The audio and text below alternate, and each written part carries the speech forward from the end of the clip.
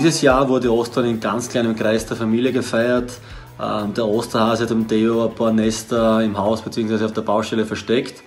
Und ja, mit ein bisschen einer Hilfe beim Suchen äh, hat sich Theo über seine ersten Osternester freuen können.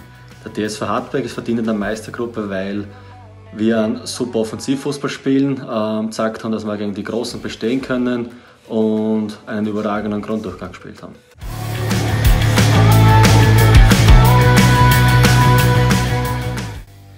Was ist derzeit deine Lieblingsbeschäftigung? Ähm, der Hausbau befindet sich gerade in der finalen Phase. Ähm, es werden ja gerade die letzten Kleinigkeiten erledigt. Aber meine absolute Lieblingsbeschäftigung ist äh, die Zeit mit der Familie zu verbringen. Und der Kleine hält uns äh, die ganze Zeit auf Trab.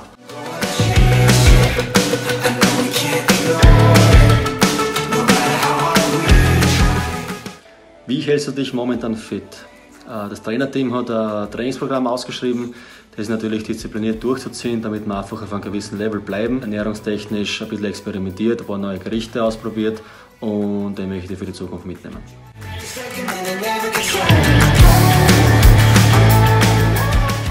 So beschreibe ich mich in drei Worten.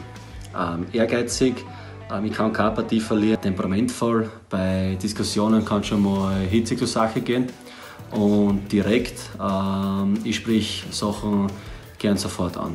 Für den Videoschiedsrichter. Der Elfmeter sicher verwandelt von Dario Tadic in seinem 100. Bundesligaspiel erzielt er sein 30. Tor. Ähm, ich kann eigentlich gar nicht mehr warten, am Rosen zum Stehen, äh, dass das Training wieder losgeht und die Spiele stattfinden. Ähm, die Mannschaftskollegen sind natürlich sehr abgegangen. Äh, die Garde in der Kabine, was wir einfach haben, das freut natürlich sehr.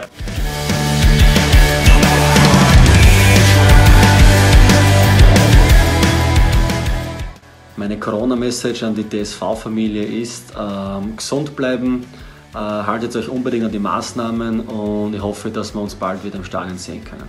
Bis bald.